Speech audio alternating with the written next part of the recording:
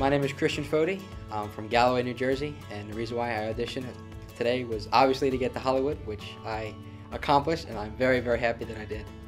The first thing I thought when I got a golden ticket was I was really, really ecstatic. I was really happy knowing that all the hard work paid off and that all the staying up till 2 o'clock in the morning and everything starts to pay off now. So, And also knowing that, you know, me being 17 years old, um, at such a young age that I can accomplish something like this, and it's it really does mean a lot to me.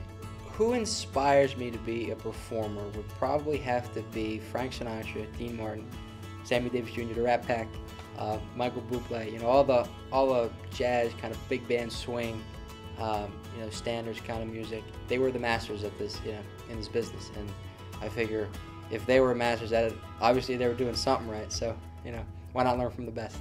What makes me unique?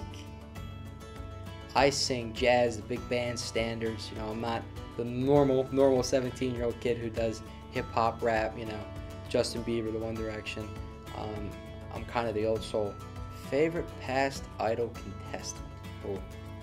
I said this last year and I'm sticking to it. I gotta say Casey Abrams.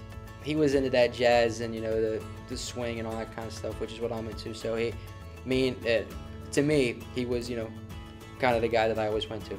I am the next American Idol because, um, like I said, I'm different. You know, I'm I'm not the same as everybody else in the past. You know, last year Philip Phillips was incredibly incredibly talented, and uh, Scotty McCreery, you know, in uh, season 10, and so they haven't really had a had a 17 year old jazz crooner yet. So hopefully I'll be the first one.